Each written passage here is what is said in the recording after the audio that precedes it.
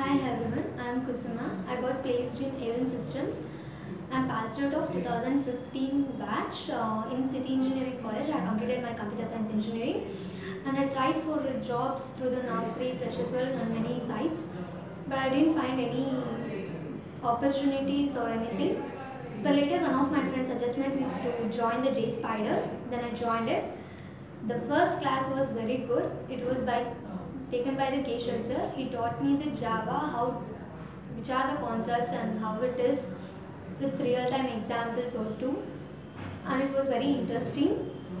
Then the Pra- Praveen sir, who teaches J2EE, he not only teaches the J2EE and also the more concepts in the Java, where to use it, how to use it. He will teach us everything.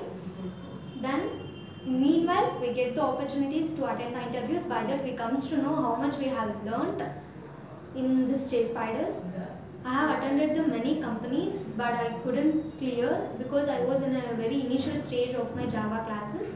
Then now I got placed in Avon Systems, which is good and with a package of 2 lakhs per annum.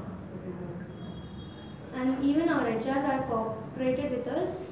They used to tell us which are the opportunities we have related to our criteria and requirements.